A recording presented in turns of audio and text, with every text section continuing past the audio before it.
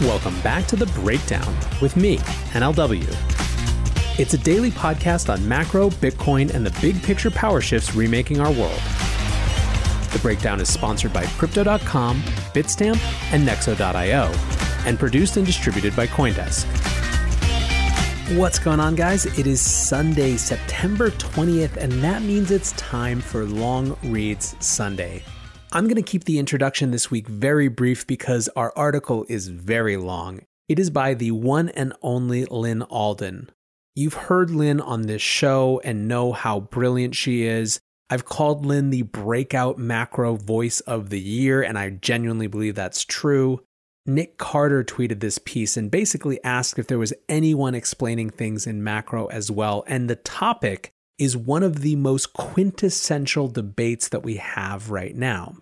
The piece is called A Century of Fiscal and Monetary Policy Inflation versus Deflation, and I hope you enjoy it. There has been a lot of discussion lately about how effective monetary policy can be. In my view, the big debate between fiscal policy and monetary policy, or inflation versus deflation, mostly comes down to looking at a long enough historical timeline to see the full context. The effectiveness of monetary policy, including interest rate manipulation and asset purchases, diminishes significantly when debt is high, interest rates hit the zero bound, and the money multiplier is low. The role of monetary policy doesn't stop then, but it takes a back seat to supporting fiscal policy. In essence, monetary policy is effective at putting the brakes on an economy, but bad at stimulating an economy, whereas fiscal spending has the opposite tilt. Let's dive into some history to see how it can apply in today's economy. In this context, rather than focusing on one quarter or even one year ahead, it's a high level outline of some of the fiscal and monetary environments that investors are likely to face as we head deeper into the 2020s. The precise path we take through this decade will depend on myriad fiscal policy choices, social outcomes, geopolitical events, and other variables. So rather than predict exactly how it will play out, we can start with certain observations and decision points and fill in details over time as we hit certain events. The short term debt cycle. A lot of people are familiar with normal 5 to 10 year business credit cycles. Most readers have lived through several of them. At the start of an economic expansion, businesses and consumers start to recover from the previous recession, and so they take on more debt and risk. As the expansion progresses, this higher and higher level of debt and eventual overinvestment from businesses and overconsumption from households make them increasingly leveraged and fragile. Asset prices generally move from cheap to expensive during this process as well.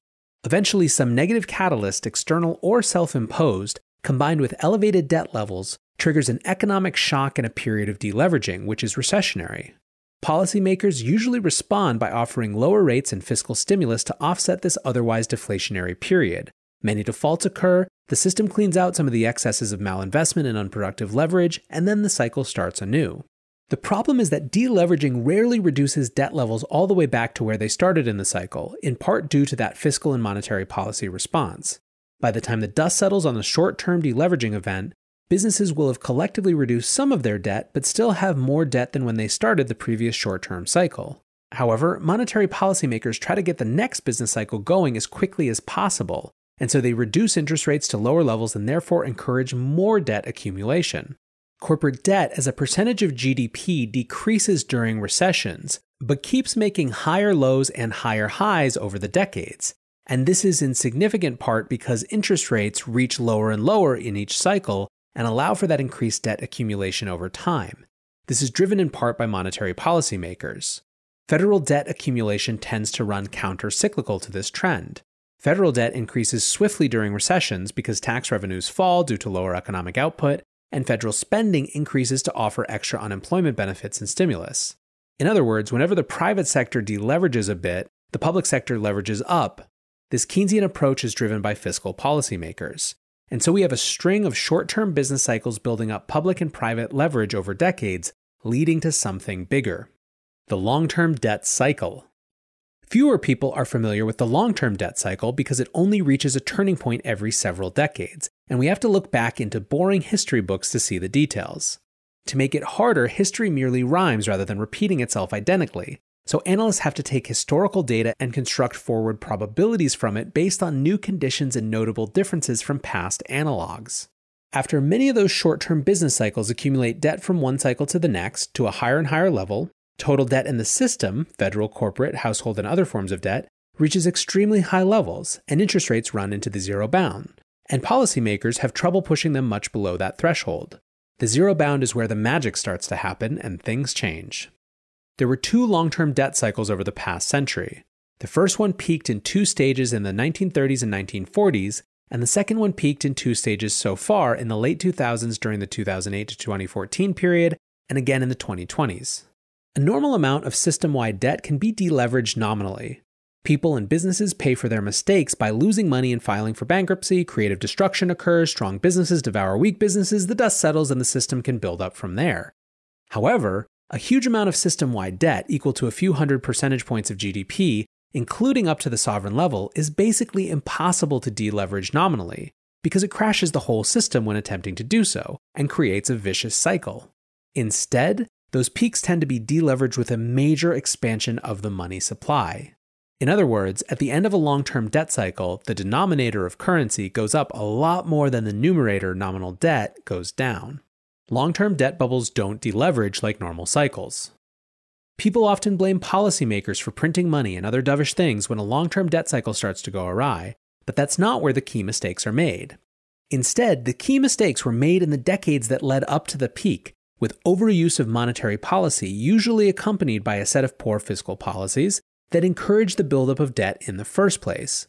Once it's built up to that extreme level, including at the sovereign level, the options to deal with it are limited. More specifically, someone's liability is someone else's asset. When you default on a liability, you destroy someone else's asset. When people and institutions lose assets, they are harmed financially. And if they are leveraged against those assets, they can go bankrupt and their liabilities get destroyed as well. Similarly, when people get laid off from work, that reduces their consumption, which causes other businesses to lose revenue and lay off their employees as well, which further reduces consumption in the system. With a broad default and no fiscal policy response, several banks begin to fail. This vicious cycle of asset price declines, job losses, and bankrupt businesses in turn reduces federal and state and local tax revenue.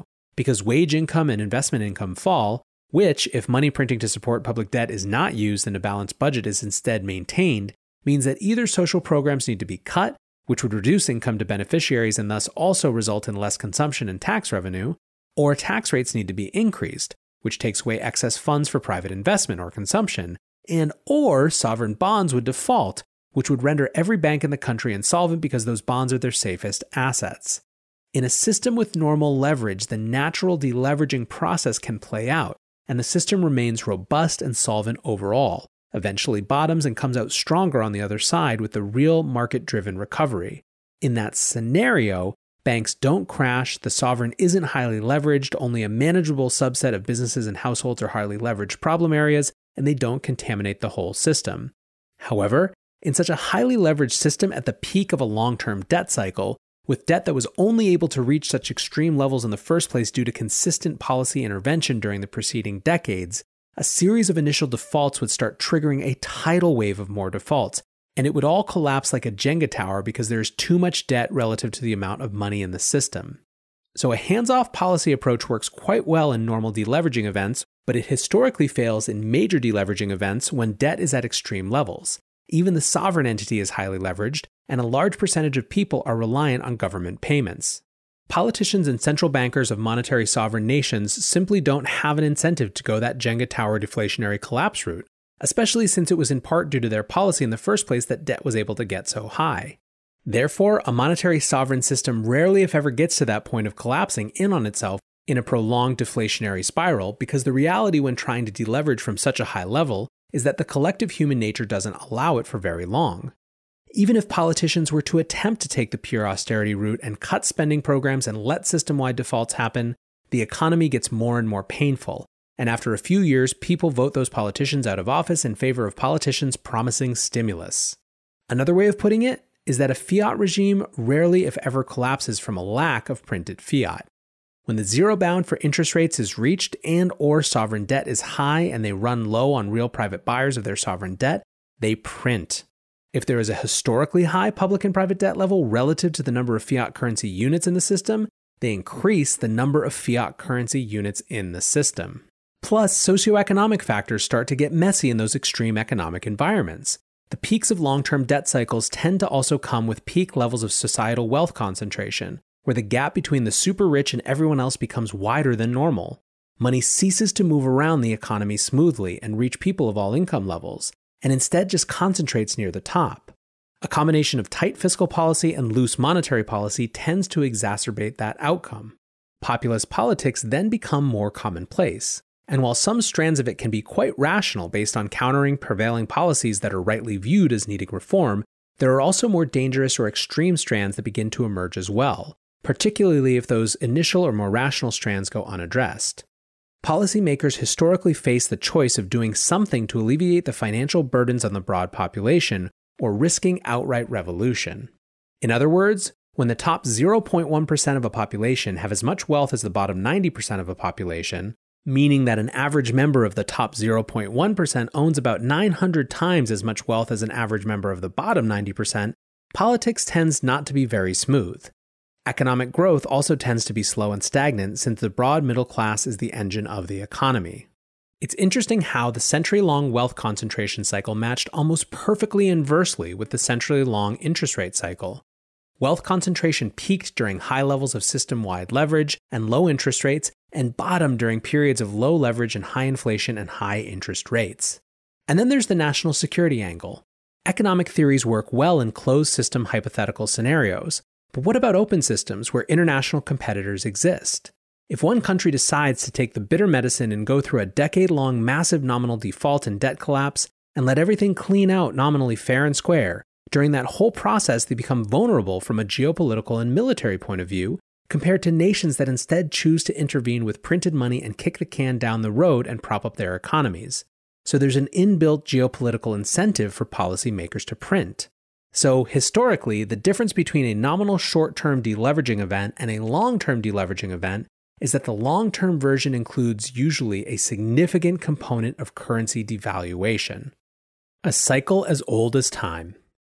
In US history, international history, and going back literally thousands of years to ancient Greeks and Mesopotamia, the common answer during generational peaks in debt levels almost inevitably is that the currency itself eventually gets devalued by some extent instead of just a nominal debt collapse occurring. Even an example from 2600 years ago captures today's situation in an eerily accurate way. This is from the Lessons of History by Will and Ariel Durant in 1968. In the Athens of 594 BC, according to Plutarch, the disparity of fortune between the rich and poor had reached its height, so that the city seemed to be in a dangerous condition, and no other means for freeing it from disturbances seemed possible but despotic power. The poor, finding their status worsened with each year, the government in the hands of their masters, and the corrupt courts deciding every issue against them, began to talk of violent revolt. The rich, angry at the challenge to their property, prepared to defend themselves by force good sense prevailed. Moderate elements, including the election of Solon, a businessman of aristocratic lineage, to the supreme archonship. He devalued the currency, thereby easing the burden of all debtors, although he himself was a creditor. He reduced all personal debts and ended imprisonment for debt. He canceled arrears for taxes and mortgage interest. He established a graduated income tax that made the rich pay at a rate 12 times that required of the poor. He reorganized the courts on a more popular basis. He arranged that the sons of those who had died in war for Athens should be brought up and educated at the government's expense. The rich protested that his measures were outright confiscation. The radicals complained that he had not redivided the land. But within a generation, almost all agreed that his reforms had saved Athens from revolution. In a long term debt cycle deleveraging process, nominal debts may only decrease partially, but currency that the debts are denominated in get devalued and expanded dramatically, either in terms of what was pegged to or in terms of price inflation and the result is that the value of existing debt decreases relative to nominal GDP and other broad economic measures, rather than decrease by a lot nominally. In other words, as I said before, the denominator currency is often expanded to alleviate a system wide generational debt problem rather than the numerator nominal debt levels going down much. If we focus on US history and separate total debt as a percentage of GDP into 1 federal debt as a percentage of GDP with virtually no nominal default risk, and two, non federal debt as a percentage of GDP that does have substantial nominal default risk, we can see that separate measures used. non federal debt as a percentage of GDP fell from 225% to 75% from peak to trough in the 1930s and early 1940s, which seems like a huge deleveraging. However, in nominal dollar terms, non federal debt only decreased by about 20% from peak to trough during that period. Instead, along with that partial nominal deleveraging, the US dollar value pegged to gold was reduced from $20.67 an ounce to $35 an ounce, combined with some degree of fiscal stimulus and a big expansion of the monetary base, which reinflated the broad money supply and nominal GDP and therefore reduced the debt to GDP and debt to M2 ratios. The numerator went down 20%, but the denominator skyrocketed. The economy improved from its 1932 1933 lows as it moved deeper into the 1930s, but encountered another recession in 1937, which led to more stagnation. Importantly, the economy experienced outright deflation in the early 1930s and sharply shifted into a period of reflation in the mid to late 1930s after the gold peg was reduced and the monetary base was expanded.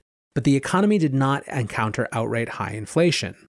This was a non inflationary currency devaluation, meaning that currency was devalued relative to gold but was not devalued much against broad prices in general, since the inflationary forces were counteracting an existing deflationary force of debt. Then, the US entered the World War in the early 1940s and began massive deficit spending, partially monetized by the Fed buying a lot of treasuries. The Fed capped all treasury yields well below the prevailing inflation rate to inflate away part of their purchasing power, and the country's industrial production was tripled in five years. People often say the war brought the economy out of the Depression, however, that's only half true. The act of war itself was economically subtractive, losing irreplaceable lives and having their expensive equipment destroyed on foreign soil half a world away. But the productive infrastructure that the war forced the country to build through federal deficit spending, which they were able to come home to and repurpose for domestic use, was hugely additive in terms of new technology and overall productivity in the subsequent peacetime economy. This was further boosted by the GI spending bill to get those soldiers trained or educated as they entered the domestic workforce. After the war, the federal debt never really deleveraged much nominally, but they held nominal debt relatively flat for a while as nominal GDP caught up, partially from growth and partially from inflation, with interest rates capped by the Fed below the inflation rate. So again, it was a period of aggressive spending and currency devaluation, followed by a period of relative austerity that reduced debt as a percentage of GDP, this time at the federal level. In modern parlance, the war forced the 1940s to be a very MMT heavy decade in terms of fiscal and monetary policy, and the pandemic may be a catalyst to make the 2020s decade into a similar outcome, especially given the same long term debt situation. In other words, an external catalyst changes the public perception and policymaker perception about fiscal deficits. In such a scenario of massive deficits and financial repression like the 1940s had, holders of currency and bonds were effectively partially defaulted on in real terms, often not nominal terms, especially at the sovereign level, and only got part of their purchasing power back. On the other end, debtors effectively got bailed out and only had to pay back a portion of the purchasing power that was owed, even though they largely paid back the full nominal amount in many cases, but in weaker currency units. The 2020 Half One letter by Hirschmann Capital found that over the past two centuries, 51 out of 52 countries that reached sovereign debt levels of 130% of GDP ended up, quote, defaulting, either through devaluation, inflation, restructuring, or outright nominal default, within a pretty wide spread of 0 to 15 years or so after that point. Japan, as the largest creditor nation in the world currently, is one example out of 52 that has avoided that outcome versus the other 51 examples. Japan didn't fix their problem. With record debt to GDP, they likely just delayed and mitigated it far better than most. Their sovereign debt as a percentage of GDP has continued to increase, pushing the previously known boundaries on how much debt a sovereign entity can hold. A way to think of that study is that sovereign debtors historically became partially insolvent with a 98% probability in the long run when debt levels relative to GDP passed the event horizon into extreme territory of over 130% of GDP, but the actual event of outright currency devaluation can come shortly or quite a bit later. It's like the Titanic hitting an iceberg. Once struck, the outcome of sinking became almost inevitable, and yet the ship persisted in a state of being afloat and slowly sinking for quite a while. It became a question of timing and, most importantly, acquiring lifeboats. Investors could have theoretically traded Titanic contracts in the meantime, with varying ups and downs in price based on news from the engine room or from the captain about the state of the ship. Based on historical probability, that's mathematically what currency holders and bond holders are doing when a sovereign hits over 130% debt to GDP.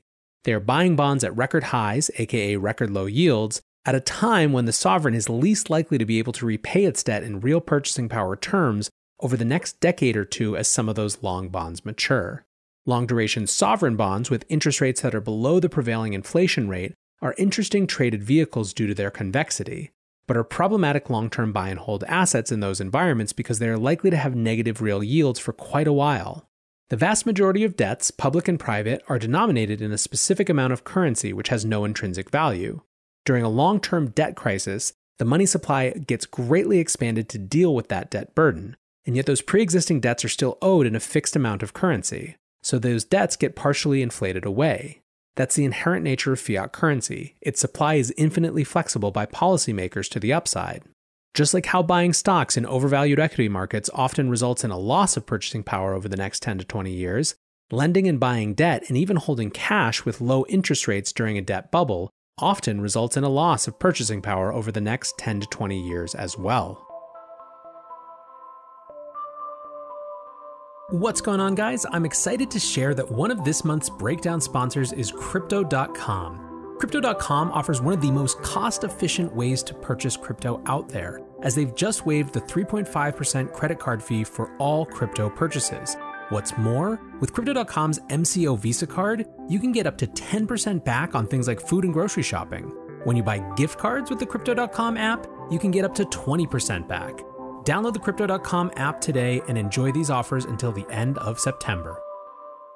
Bitstamp is the original global cryptocurrency exchange. Since 2011, Bitstamp has been the preferred exchange for serious traders and investors, trusted by over 4 million customers, including top financial institutions. Bitstamp is built on professional grade trading technology. Their platform is powered by a NASDAQ matching engine, and their APIs are recognized as the best in the industry, Download the Bitstamp app from the App Store or Google Play, or visit bitstamp.net slash pro to learn more and start trading today. That's bitstamp.net slash pro. In this crisis, many investors aim to keep and grow their digital assets. Others seek to maximize the yield on their cash. Nexo allows you to achieve exactly these two goals. The company offers instant crypto credit lines against all major cryptocurrencies, with interest rates starting from only 5.9% APR. Nexo also lets you earn up to 10% annually on your fiat and digital assets. What's more, interest is paid out daily, and you can add or withdraw funds at any time. Get started at nexo.io. A century of U.S. monetary policy. Monetary policy and fiscal policy historically have taken turns in how potent their effects are on the economy. During a booming economy with banks happily lending for productive purposes and higher interest rates and inflation levels generally, monetary policymakers have the power to put on the brakes or to lighten up when the economy softens, which means monetary policy has a lot of influence for better or worse. However, at the point when the zero bound is reached, monetary policy runs out of ammo with its interest rate tool, but can shift to expanding the monetary base aggressively, aka quantitative easing which at first has some level of effectiveness to combat a deflationary shock and pick the banking system up off the ground, but overall can't do much beyond that. QE can recapitalize banks from low reserves to high reserves, and it can offset a deflationary shock or liquidity crisis, and can prop up some asset prices to some extent, but it can't create sustained inflation or expansion of the broad money supply on its own. As debt builds up in the system, economic growth slows, and the money multiplier shrinks, the Great Depression and the Great Recession were during periods of significant money multiplier bottoms, which, along with the zero bound being reached, is what made them so different than every other normal recession. Even as monetary policy makers expanded the monetary base, the combination of currency in circulation and bank reserves, it doesn't make banks lend more, so broad money supply doesn't grow as quickly as the monetary base. 1930s and 40s. The 1930s Great Depression was a difficult era because it wasn't just one recession. The worst point of it was in the early 1930s after the big crash, but as things gradually recovered, the economy hit another recession in 1937 and stagnated again and couldn't seem to get out of the slump. Even as the monetary base expanded, the monetary multiplier kept stagnating. Then, World War II in the 1940s forced them to build a ton of productive industrial assets via massive federal deficit spending and financial repression, and existing debts were further devalued by inflation. The full scope of the Depression era period characterized the initial crash and partial economic collapse, the subsequent rebound into further economic stagnation, and the eventual war and inflationary currency devaluation. 2010s and 2020s. Although not identical, the 2008 Great Recession was similar. Policymakers expanded the monetary base dramatically, and many people feared imminent inflation. But that expansion of the monetary base mostly just recapitalized the banking systems, brought banks from 3% reserve levels up to 10 plus percent reserve levels, and didn't result in a lot of lending or broad money supply increase or economic growth. The economy superficially recovered from those 2009 lows, especially in terms of asset prices, but GDP growth was slow by historical standards throughout the cycle, and labor participation rate among prime age workers never fully recovered to pre crisis highs. The economy eventually ran into the COVID 19 shock and stagnated again, with a starting point that was still highly indebted. This forced policymakers in 2020 to run deficits at a scale not seen since the 1940s, and it remains to be seen what the final outcome will be. The limits of monetary policy. Eventually, monetary policy of its own runs out of ammo, with rates at zero and aggressive expansion of the monetary base happening, but little real lending, and little velocity of money or strong growth in broad money supply, or strong rebound in GDP. Further QE at that point can pump up asset prices, which can in some cases make wealth inequality worse, and can't do much about the real underlying economy. That is why, over the past six months since the pandemic further popped the existing debt bubble, several Federal Reserve officials have called for more fiscal response. This is somewhat unusual by tradition, because central bank policymakers are supposed to be relatively apolitical. However, they realize that their tools have run low, and so they point to Congress to do more. When fiscal policy takes over, macro analysts often fall into a few camps. Some believe that QE is outright inflationary, but it's not. Others believe that QE is never inflationary or even disinflationary, which is also incorrect. Instead, whether QE is inflationary or not largely depends on whether it is accompanied by high fiscal spending, since QE's role in that environment is merely to recapitalize the banking system and monetize those fiscal deficits. In other words, many people correctly identify that a highly leveraged system, with banks not lending much, is inherently disinflationary. However, they must also consider fiscal policy response, which in extreme environments can go around the banking system and reinflate the economy out of an otherwise disinflationary structural situation. Consumer price inflation can be caused by all sorts of policy and psychological reasons, but ultimately occurs because too much money is printed and spent relative to the productive supply of goods and services in the economy. In opposition to that, deflation is caused by technological progress and productivity improvement, excessive debt levels which constrain spending, and an abundance of supply of goods and services relative to both demand and the amount of money in the system. People often think that high money velocity is required for inflation, but for the most part, it isn't. The 1940s only had a brief spike in money velocity, but currency lost a third of its purchasing power that decade through several spikes of high inflation. The 1970s had weak money velocity but sustained high inflation. The 1990s had a strong rebound in money velocity to multi decade highs, but low inflation. If a ton of money is created, only a modest uptick in velocity is needed to start an inflationary cycle. Indeed, velocity ends up being a coincident indicator rather than something that happens first. Aggressive broad money expansion, often accompanied by some degree of supply limitation, is generally inflationary. The long term structural trend is towards lower inflation or outright deflation, and normally this would be a good thing. As humanity's technology progresses and productivity improves, it would be natural for your money to buy more goods and services than it could five or 10 years ago rather than less. However, because we structured our economy around a debt based system, deflation is viewed by policymakers as the biggest enemy, something to be fought off wherever it shows up. So they seek to counter that inherently deflationary trend with inflationary monetary and fiscal policy. After short term interest rates hit the zero bound and the monetary base expands dramatically, monetary policy by itself basically runs out of ammo, so fiscal policy takes over in the form of massive deficits, and a significant portion of those deficits become monetized, meaning that the Federal Reserve buys those Treasury securities by expanding the monetary base, aka printing money, rather than financing those deficits by existing currency holders actually buying the Treasuries. That last part is an important distinction. The Treasury borrowing capital from sources of private capital in the economy and redeploying it elsewhere in the economy may or may not be stimulative, depending on how productive that spending is.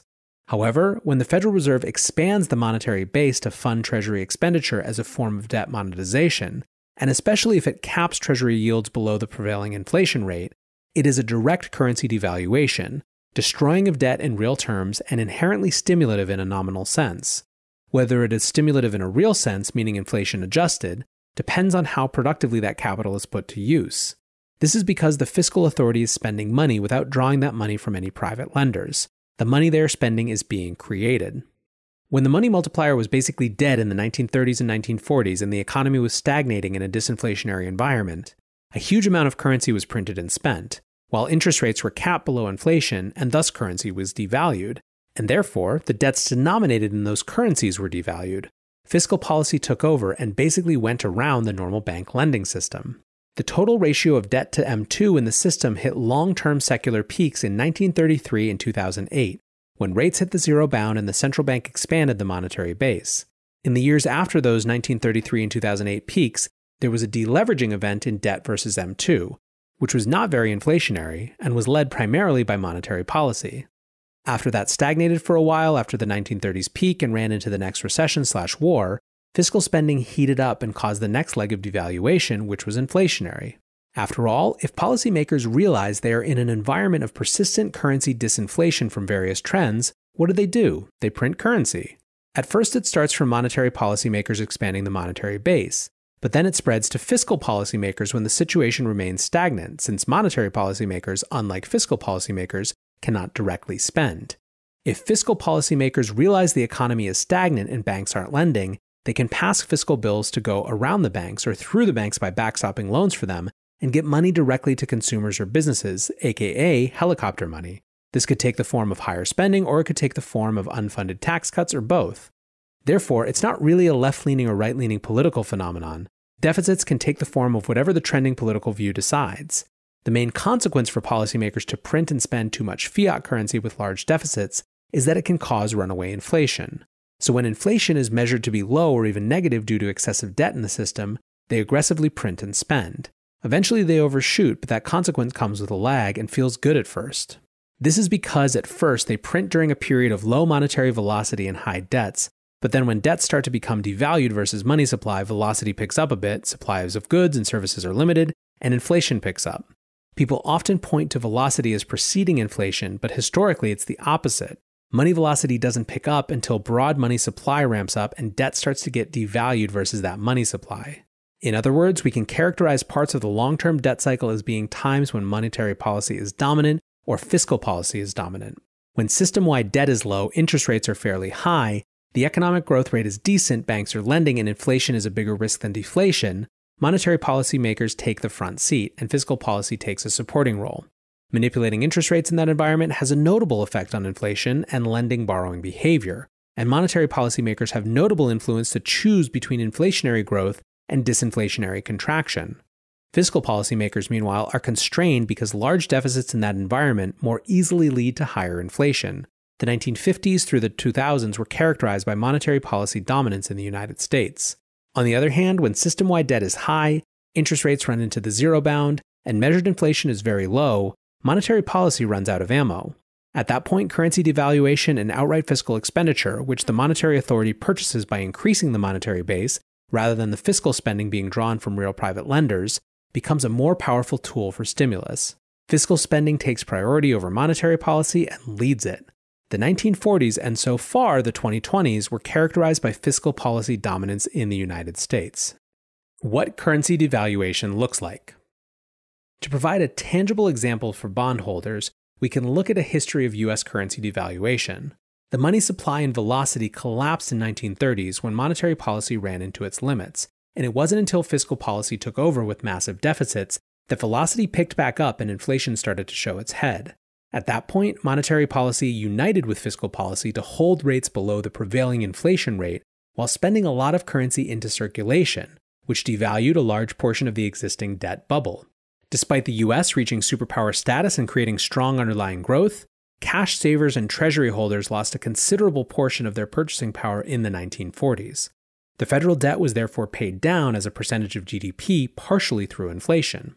All in all, there was a roughly four decade period from the mid 1930s to the mid 1970s where 10 year treasuries were bought and held to maturity, spent most of their time in a state that failed to maintain their purchasing power versus consumer price inflation, and especially versus gold. During the 1940s, the war period of massive fiscal spending, the Fed capped rates below the prevailing inflation rate. Inflation was transient, coming in spikes, and yet rates were capped at 2.5% or below. As a result, those treasuries were paid back nominally, but a full third of their purchasing power was lost due to inflation of both the money supply and consumer prices. In large part, this was how long-term debt cycle of the 1930s and 1940s was paid down. Treasury holders lost purchasing power, despite getting paid back in nominal terms, because it was the currency itself that was devalued rather than the sovereign bonds being defaulted on. The same can basically be said for cash savers, anyone with a lot of currency exposure. The dollar peg versus gold was sharply reduced, massive deficits were run to circulate currency into the economy, those deficits were in significant part monetized by the Federal Reserve, and the Federal Reserve capped Treasury yields below the prevailing inflation rate for a decade. As the dust settled and the debt was well on its way to being inflated away, they shifted away towards a period of relative austerity and stabilization, which, along with the expanded industrial base, is what made it a partial devaluation rather than a complete devaluation. The memo to bondholders and currency holders was basically thanks for playing, try again next time. Investors would do well to watch for this phenomenon in the 2020s. The endgame for the current high debt environment will likely involve a combination of high fiscal deficit spending, monetized by central banks, cash and treasury yields held persistently below the prevailing inflation rate, a trend shift from disinflation to inflation, and subsequently a period of currency devaluation. However, for investors and traders, this becomes a matter of timing. The timing and magnitude of fiscal policy will play the key role in inflationary or disinflationary outcomes. Whenever they're spending aggressively, the near term outcomes lean toward inflation. Whenever they're gridlocked or employing austerity, the near term outcome leans towards disinflation.